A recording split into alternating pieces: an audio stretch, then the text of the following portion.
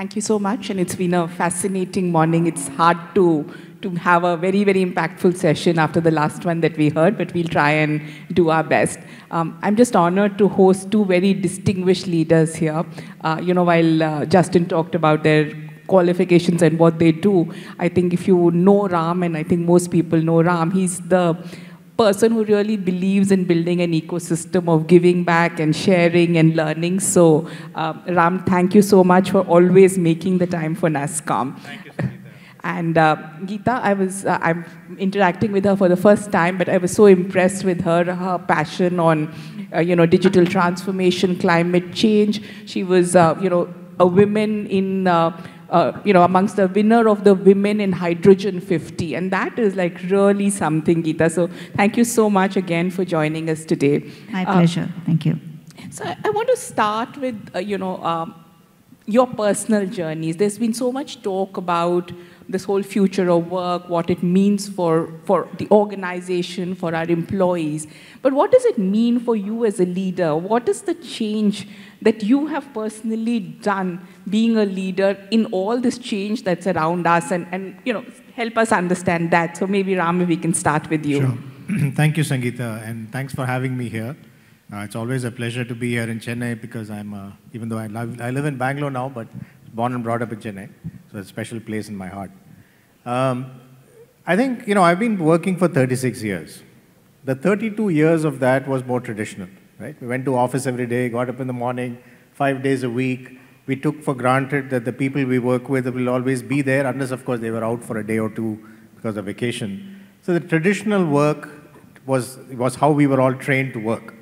Of course, pandemic changed all that, and uh, suddenly we were all found ourselves, you know, looking at a rectangular screen for most part and trying to engage with people.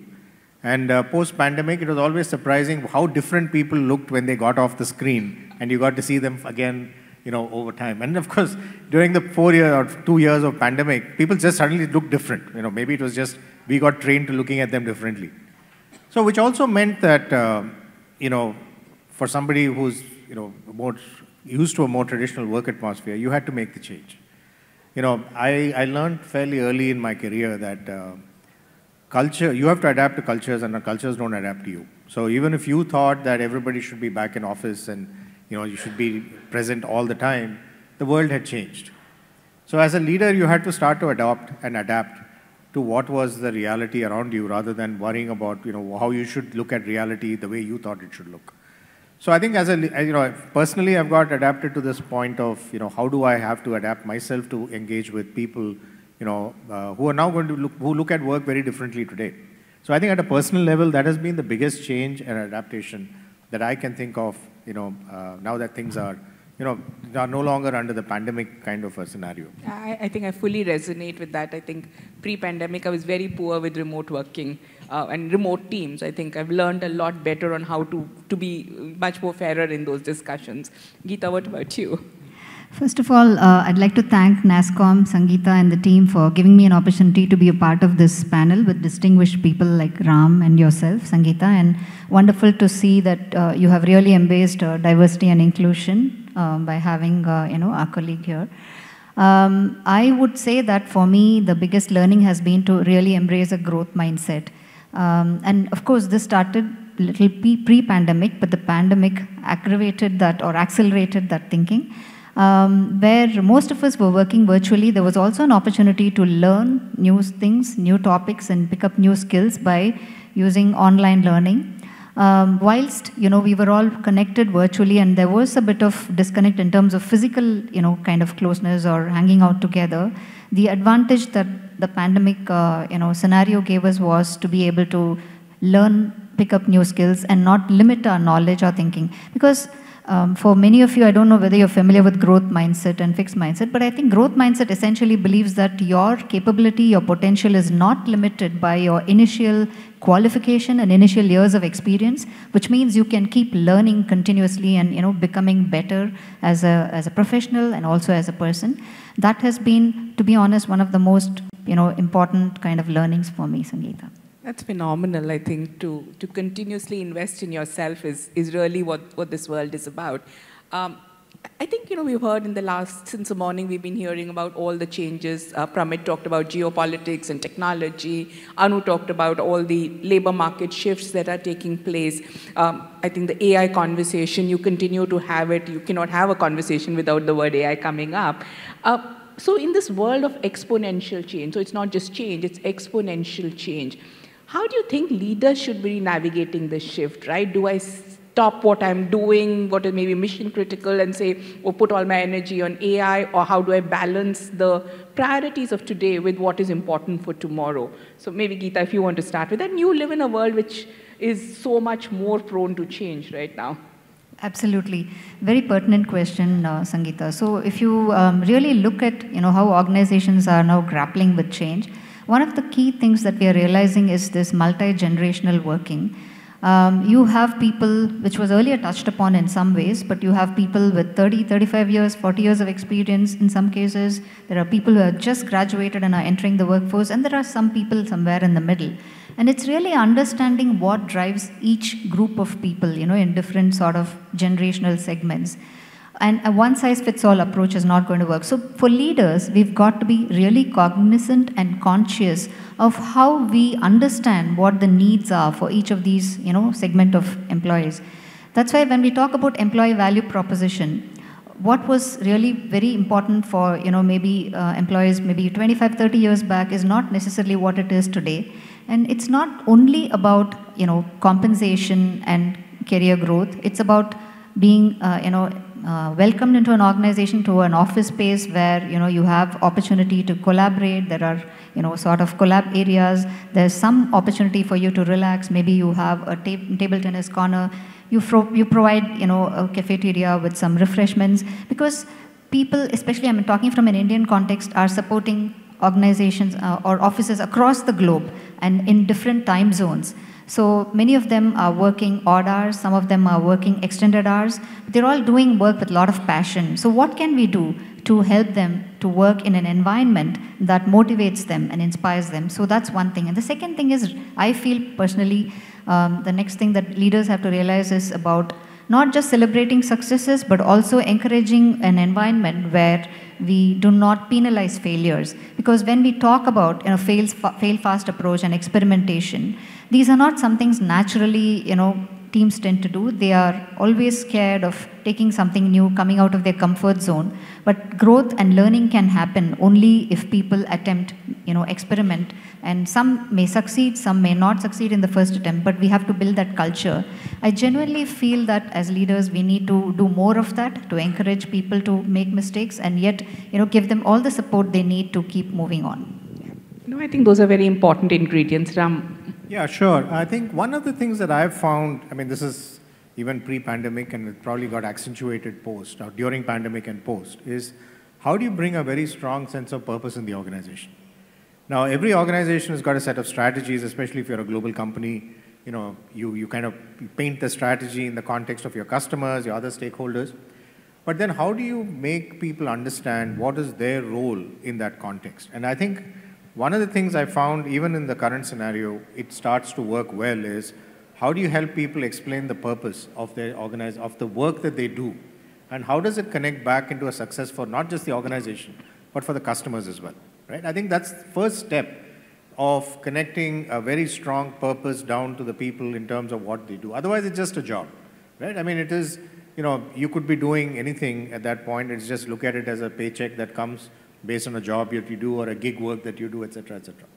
I think, uh, you know, it's been documented. I mean, there are case studies on this which goes back in various domains that talk about building a sense of purpose makes a huge difference. I mean, there was a, there's a very popular old case study on New York General Hospital which talks about the fact that the death rate was so high in the ICUs of people who caught secondary infections that, you know, the, the, the head of the hospital made it a purpose right down to the janitors who cleaned the hospital to say your job is to reduce the death rate. And that actually affected, they changed the dynamics of how the hospital operated. So things like that are, you know, are, are uh, educative when we think about organizations. So to me, I think building that purpose is very, very important. Second is engagement. A lot of people do their day job, and many of them do very well, right? I mean, there's a whole performance review process that happens, which is standard part of any company. What is less measurable is how do you open up horizontal avenues? You know, Sangeeta talked about building ecosystems. How are you building an ecosystem, communities of practice within an organization that helps people connect their passion and learnings and experience to the work that they can bring horizontally through an organization? So I'll give you an example, right? One of the things, you know, I, I normally look at four dimensions in any, you know, the organizations that I manage. One of which is innovation. So traditionally, innovation is thought about as a bailiwick of you know, your engineering or your technology teams. That's where innovation happens. But I would argue innovation happens everywhere. In my previous company, one of the things we were building out some new, new offices in India. And the real estate team came to me and said, look, we would like to use IoT in our new office. So we said, okay, sure, why not? Let's go experiment. But I said, on one condition you design and implement it. The engineering or IT and all of us will support you, but you will drive it, right? From concept through execution. And that I think was the biggest game changer that we saw. That the real estate team actually went out, found the right vendors, implemented it so that we could manage all our offices across India from a, from a real estate operation center, not a network operation center that you would think about. And they were most proud about it. And they were showing it to everybody who came to our office. The thing is, the, the, that kind of a horizontal engagement and providing avenues for people to engage, which is beyond their day job, I have found is a game changer in terms of driving engagement across the organization. This has nothing to do with hybrid workforce. It has nothing to do with in the office. It is really a mindset shift where people start believing that they can do something which is beyond their day job and make an effective job out of it. And like Geetha rightly pointed out, this is not about success or failure. It's about doing things, trying it out, fail fast, right, and move on to the next thing. But create the avenues for it within an organization. I think these two will be the things that I talk about. So, I think it, it really goes back to the facts that you said, right? Create the right environment, give the right opportunities, create the right engagement, and allow them to fail, success, prosper. I, I think if we create that environment, any change can be navigated and it'll be different for obviously different organizations. Uh, you know, one of the other things that we as nasscom often see is that as an industry, more, more specifically the technology services industry, all the growth was always linear in terms of, you know, bigger teams. As an individual, I'm growing if my team size is growing. And in this new world of technology, it's a lot about core technology skills that are becoming relevant, while most of the organizations were structured as leaders grew, they became more about people management roles. How do we reshape that where being a core technology expert is actually even more relevant than being a real, only a large people manager? And I know Ram, I'll start with you because this is a topic you've been very passionate about. Thanks, Sangeeta. How many of you here use AI on a day-to-day -day basis? How many of you use Google search? All of us. You're using AI on a daily basis. You've been using machine learning and AI for, you know, ever since Google, Google originated. The point I wanted to make was, it comes down to, you know, you don't have to know how to build a large language model and, uh, you know, train one. I don't know how to do it. I mean, I've never tried it. But that doesn't mean you shouldn't be using technologies. How many of you drive a car here? How many of you drive a car? Or a two-wheeler or whatever, right? Do you know how to actually make one? Design one? No, right? Most of us don't. So, but that doesn't stop you from using it for effectively for transportation. I think technology is like that, right? I think there's going to be there's going to be a small group of people who will create it. There's going to be a massive group of people who will use it on a daily basis, and that's one one dimension to this, right? So I think I would suggest that you know fighting technology is a is a losing battle because at some point it's going to overwhelm you, or you'll start using it without even knowing it exists, right? To a large extent. So I think this whole debate of will AI take away jobs or not take away jobs, I think is, is a, you know, it's an interesting debate. I think it keeps a lot of events running. It keeps a lot of WhatsApp and social media going. But I'm not sure how useful it is in the long run. The biggest, uh, the, the only other point I make is that the biggest, uh, you know, education that you can get is by looking at history. So I was, I was, when we were chatting before the panel, I was saying I'm reading the Ken Follett's Kingsbridge series. I don't know if you've read Ken Follett and how many of you read fiction, but um, you know, I love reading fiction, to be honest. I, this, I find it less boring than reading very heavy technical or, or business books. I do read those, but, uh, but this one talks about this particular saga era is around the mills were shifting from manual labor to mechanization. And the Luddite movement, how many of you heard of the Luddite movement that happened in Europe? They're back there, one hand. The Luddites were basically anti-technology, and they went around breaking mills that were using, you know, steam engine-driven mills, et etc., etc. Right? Now think about it. Over time, that got encapsulated. People just adopted it, started using it. The workforce adjusted. Yes, there is short-term pain. I'm not saying there isn't, but there is, right? The other thing, the last thing on technology is, my experience has always been, technology is always overrated in the short run and underrated in the long run. You know, I, I was fortunate enough, or maybe I'm old enough to have lived through several shifts in technology from a, you know, from a techno, from an internet perspective, right? In the mid 90s, um, the internet was going to do everything that we still haven't fully, you know, developed, right? At that time, it was the fridge was going to order your groceries automatically. I'm not kidding. I mean, 94, 95, these were the use cases being discussed. I mean, how many of our fridges are actually ordering groceries automatically now, right? So the thing is, all I'm trying to say is, you know, sometimes we overestimate what the technology is going to do, but also underestimate. So technology will take over our lives over time, right? It doesn't mean that it won't do it, and we'll all adjust to it. Next generations will adjust to it and keep going. But the underpinning of all of this is get used to it. The faster you can adopt it, start using it, you know, for, for, for what it works for you, and then adopt it and move on, right? So Geetha, maybe I can ask you that question on what are the key skills that will enable a professional or an HR leader to be successful at least for the next few years? We know these skills will continue to change, but what do you think will be some which will be foundational, but some we should invest today in to make sure we can stay ahead at least? Sure, that was a brilliant, uh, you know, sort of uh, narrative you shared, Ram, about technology. I mean, it's it's so true that uh, you know it, some people overestimate uh, how much change it will bring. But uh, yeah, it does happen over time. So Sangeeta, coming to your point, I think uh, you know we've seen in the past how you know with multiple shifts happening across the world, across geopolitical you know situations, some changes are forced upon us, which we can't you know avoid. But some changes are uh, you know some things that we can work towards. We can sort of plan, like you know alluding to what was spoken earlier in the day. So I think from um, HR leaders' perspective or people who are looking at talent development, um, uh, I think we have to really look at not just technical skills, which are a given in any uh, case, but also look at softer attributes. Like, you know, how do we develop critical thinking skills, problem solving skills, and to, in a way, it's a bit of a contradiction to say that, you know, if you use Chat GPT and you want to, you know, create a presentation, you can easily get some points on something, whatever it may be, transformation, digital transformation, or whatever it is. It'll give you points. But the point is that uh, you use technology to enhance your understanding, enhance your skills, but not as a substitute. I mean, because then that will not take you anywhere.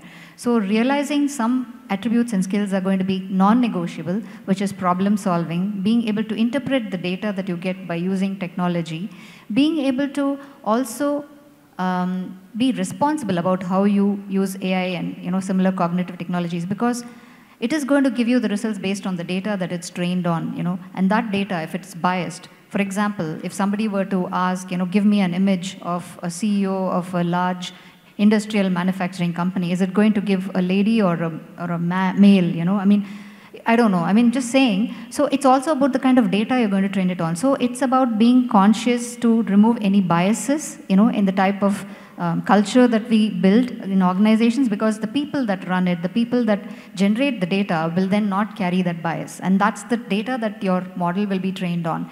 So there are some fundamental things, critical thinking, problem solving. And earlier there was a comment about resilience. I think in a way, we see resilience as the ability to tide over any setbacks and you know any unplanned events. For example, uh, you know, I think the ability to really adapt is going to be important because then you will not think that you know technology has overtaken you and you're you know struggling to find your way. It's the ability to quickly change course and then accept the change and move on. So for us the soft skills are going to be also extremely important as we deal with the technological shifts and the changes that are going on. And it starts from you know, uh, school, I would say. We are currently, you know, kind of having education system that teaches kids a lot of subjects and with a lot of focus on STEM, no doubt, which is great. But for the next 15, 20 years, it's, it's going to be the same? No. We've seen things changing in the last few years itself. So how do we naturally, you know, include focus around problem solving and creativity and you know, things around uh, maybe reasoning, so judging and being able to take decisions. Somehow we need to bring that in rather than just looking at, you know, ability to crunch problems or, you know, numbers. I think fundamentally that has to change and culturally, I think people have to also embrace uh, different, you know, careers because what will happen is otherwise um, people's you know opportunity to grow and evolve becomes narrowed down to certain subjects or certain you know sectors only. So I think if we have to build a workforce for the future, certain skills are absolutely essential, and these are more towards I guess softer skills and uh, you know ability to change, adapt, learn. Learnability is key. Um, and uh, the technical skills will always be there. They are going to be still important. Yeah, that's my take, Sangeeta. No, I think fully agree, and I think those are much more hard, harder to do just at an institutional level. It requires a lot of the individuals' efforts to make these real. I know we'll have time for one or two questions. If there are any hands, please, uh, can we go? Can we get some mics here?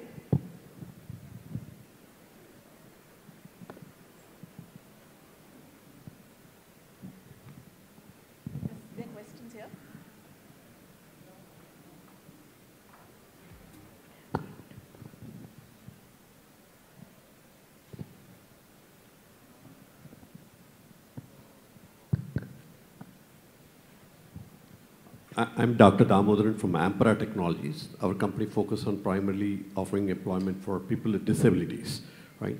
Even though in India there are 7 crore people today with disabilities, typically still they are seen more on the workforce or non-skilled workforce, right? One of the challenges, uh, if you really see, when companies go to tier 2 and tier 3 cities, train students, engineering students, and hire them, it's seen as a business case, right? Whereas the same is being done for a person with disability, a student with disability, it's seen as a CSR activity. How can it change when we talk about future workforce, inclusive workforce for people with disability? Because engineering colleges reached out in Tamil Nadu alone, all the 500 engineering colleges through our university's help. And uh, they didn't have the database. Uh, who graduated in 2024, we got totally eight students who had disabilities, but it's a lot more. We are hoping in 2025 will be, we'll be able to gather the database better. But that's one challenge. How do you think companies can help in addressing that and treat it more as a business rather than as a CSR activity? Yeah, uh, maybe I can start on that because uh, it's an area that is close to my heart as well. Um, I, I think there are two aspects to this. There is one piece of this which is more fundamental skill building that needs to happen at an early age, even for people with disabilities. And I think the reach for us happens to be through CSR for those kinds of activities because, you know, for us to access that age group, it becomes difficult if we are trying to do it directly. But you bring up a good point is how do you make this business as usual rather than treat it as a special case of activities that we do? So one of the things that we have tried in my previous job as well as this one is to create internal groups of people who are focused on this, you know, on this cohort of people and how do we address it, not through CSR, but really with engagement through our balance sheet, right? Whether it is engagement with organizations that are working with people with disabilities and bring in some of the skill sets that, that, that can be utilized there. One of the, I think, potentially undiscovered yet uh, use cases for things like AI is to help with people with disabilities. Because at that point, you know, it is not a traditional mouse keyboard game, right? There are other ways of engaging through media to actually use these tools as a more effective medium for inclusivity. I think that is not being talked about enough. I mean, I, I, I will take it on as a, as a potential, you know, as an industry person who should probably driving that dialogue.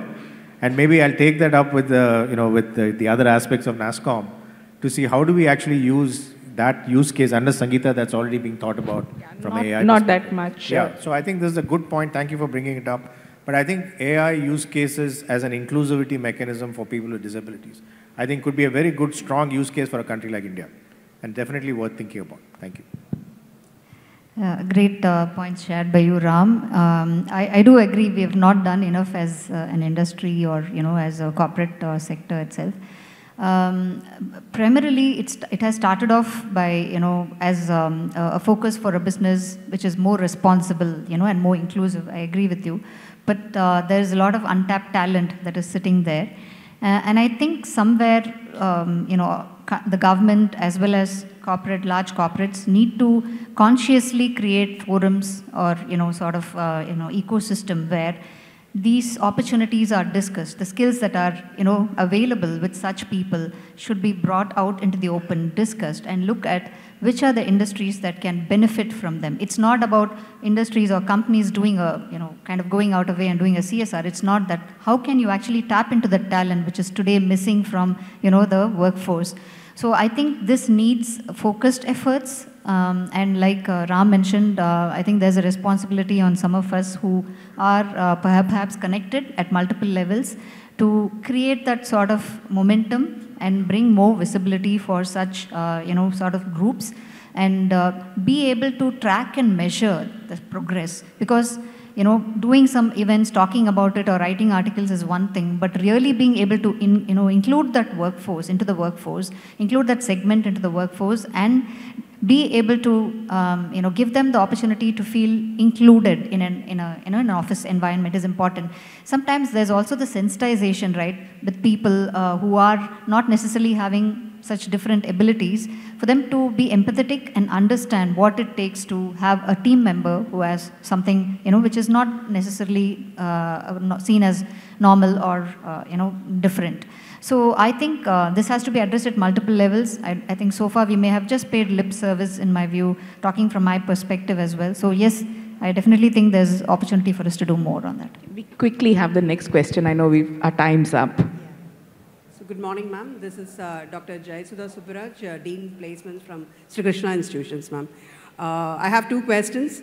One is like, uh, uh, what is that you're expecting as a placement uh, dean? I'm more interested to know, like, what is that you're expecting from the young workforce because you already, Geetha ma'am already listed uh, certain things and if you could give us uh, five important things you are expecting from the young uh, workforce, that is one thing ma'am. And the second question is like, what are the different ways you are appreciating the young forces to be, uh, uh, uh, to stay in the organization apart from the perks and salaries, what are the different things you're doing in the organizations ma'am?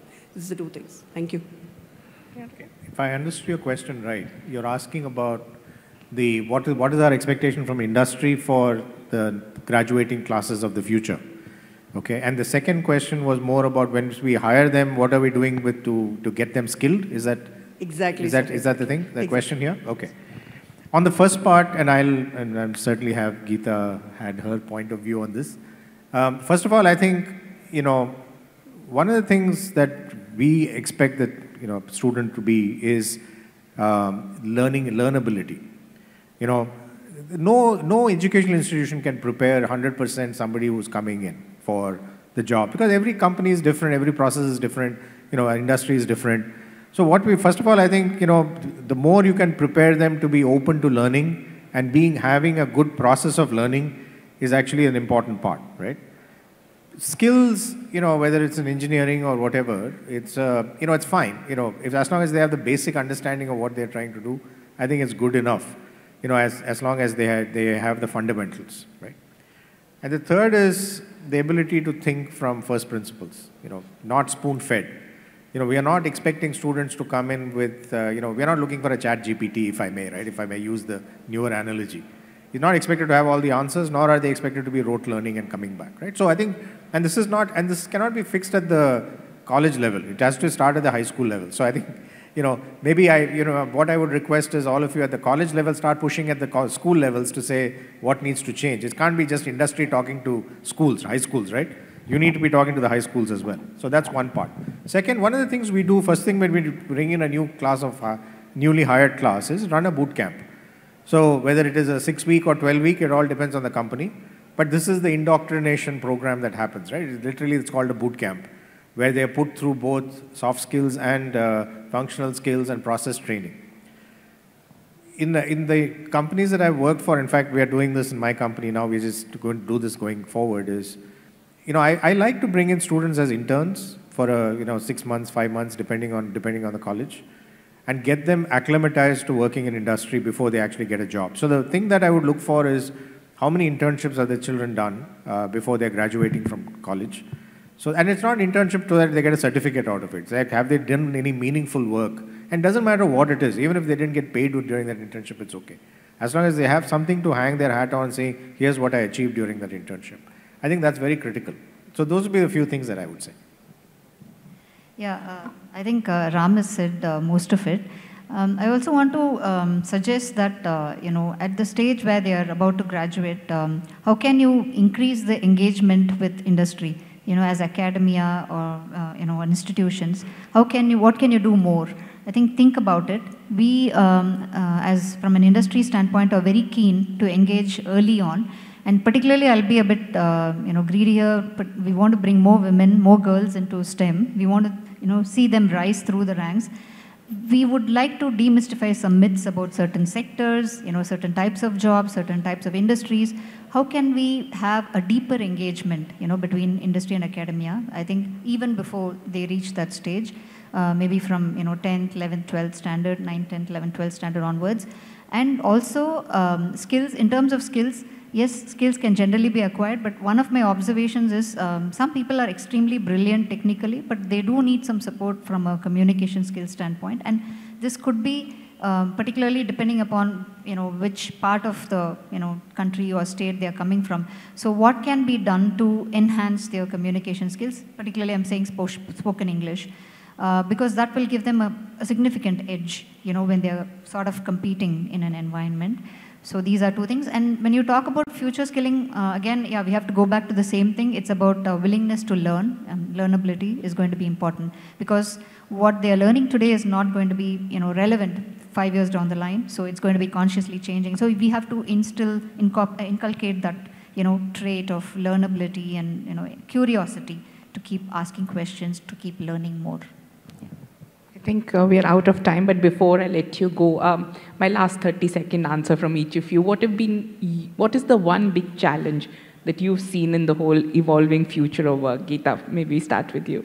Sure, thanks, Sangeeta. Uh, one big challenge is really, you know, developing the talent for the future, which is really about upskilling and then continuous learning uh, to make sure that there is, like you mentioned earlier on, there has to be a lot of self-driven learning also. So organizations can definitely provide a lot of support, but there has to be that self-learning, you know, motivation to keep learning. And I think that is a big challenge we face today when we talk about this big opportunity we have, whether it's Gen AI or anything that's going to come up soon. So that is a big thing. And added to that, I must say that there's also sometimes passive resistance to embracing new technology, you know, resistance to change. So basically not willing to change your old ways of working or old ways of doing things. So these are the two things we are right now grappling with. Ram? Yep. Um, I think for me, I think encouraging people to engage with each other in person, right? And that doesn't mean come to work every day. That's not what I'm referring to. I think we are, human beings are, from Homo sapiens, you know, we are tribals, right? We like to get together, we work together, we, we fight together, we argue together. And the, some of that, I think I would, is also healthy. And what I would, uh, I think the biggest challenge that I see is uh, people withdrawing and not necessarily engaging. You know, even when they're within a group, whether they're, you know, buried there in their, in their electronic devices or whatever. How do we encourage people to talk to each other? I think talking and dialoguing is, I think, one of the biggest challenges that we have to overcome over the next, you know, decade as we look ahead. Thank I think we learn to live in our virtual hybrid world, so uh, not really interact. So thank you so much. Uh, I think we've had a very, very engaging conversation. Uh, I think the speakers are around and we'd love to, you know, anybody who wants to chat up further, we are available. Thank you so much. For more content on tech and leadership, subscribe to nasscom YouTube channel and press the bell icon to never miss an update.